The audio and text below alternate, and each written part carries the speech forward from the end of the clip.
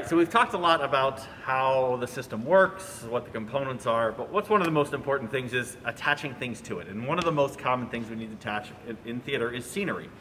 Uh, we fly uh, flats, walls that need to move up and down is one of the most common things. And there's a lot of different ways that you can attach the scenery to the batten itself.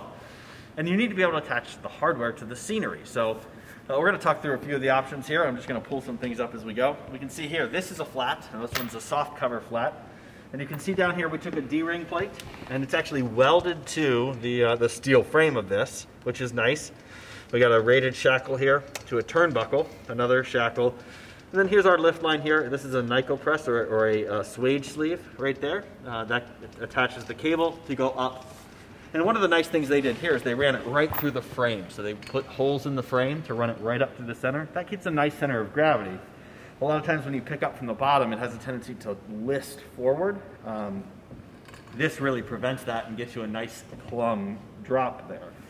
Now this is a little bit more difficult with wood, so we can't just uh, weld to wood. We have to find different ways to do that. So let's take a look at some of this hardware. So this is how we used to do that. This is a scenery hanger, and this is actually what we call a top hanger. Uh, the bottom hanger, there's a little uh, U bracket here where it would go underneath, and those go here.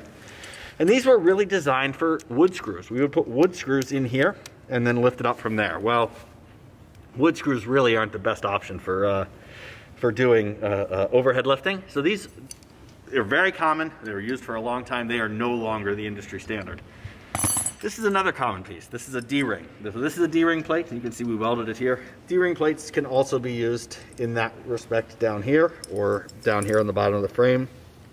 These also, when you're working with wood, they want to be through bolted into there. Um, you know, the, uh, the, so the nice thing about those, you can through bolt them, uh, but uh, they don't really get the connection piece there. See how they push it flat up against it? Uh, you don't really get the option to fit a nice piece of hardware in there. Um, maybe you can fit a quick link in there, uh, but these are actually not rated for overhead lifting with the exception of, of very few manufacturers that will do that. So for the most part, we don't use these for overhead uh, lifting. Now, let's talk about what we do use. So these are uh, scenery hanging plates. These uh, can go nicely right here on the bottom like that. We have others that can go here and lift up uh, from, the, uh, from the side. So um, if you look at closely at these, there are two holes that have a taper on them. Those are for your screws to set them. And then two holes that are not tapered. Those are for your through bolts. So you set them and then you attach them with your through bolts. Those are gonna be, that's gonna be consistent throughout these.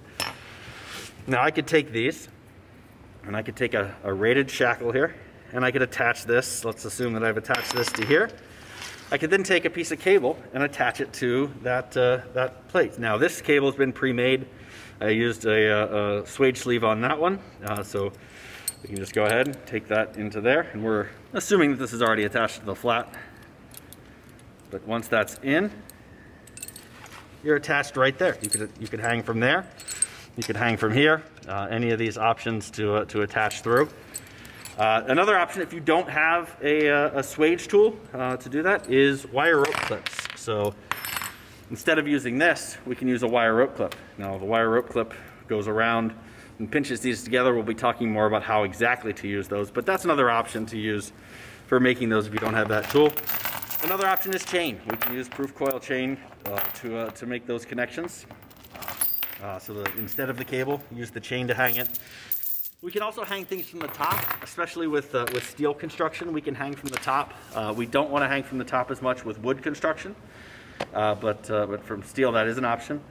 And then finally, how do we attach to the batten up above? So we ran this cable the whole way out through the scenery and we're ready to attach to the batten.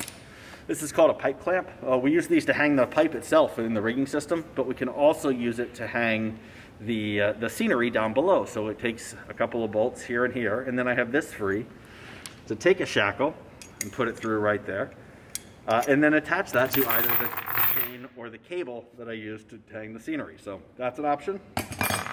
Another option is I can use that same piece of chain, it's called a piece of trim chain, I can wrap it around the pipe like that, and I can take these two pieces and uh, attach them in like that uh, to, uh, to whatever cable I'm going to. Uh, so that gets you your attachment to the pipe. And then you want to have adjustment of some sort. So the chain is nice because you can adjust the number of links that you're using in there. Another option is the turnbuckle.